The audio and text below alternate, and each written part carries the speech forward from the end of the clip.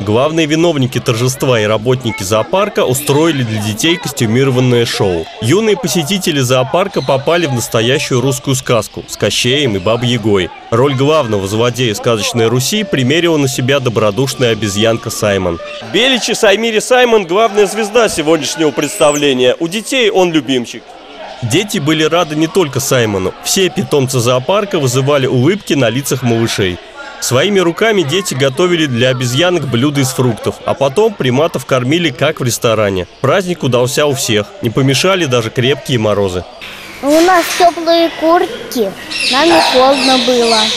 На холода едва ли могут пожаловаться и питомцы зоопарка. Условия их содержания самые человеческие. Они у нас, во-первых, в теплом помещении находятся.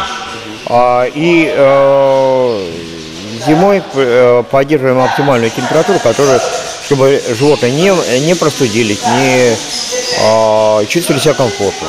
Традиция отмечать Международный день обезьян появилась в 2000 году. В Самарском зоопарке этот праздник проходит уже не первый год. У посетителей зоопарка еще представится случай поздравить питомцев. Сергей Ромашов, Артем Сулайманов. События.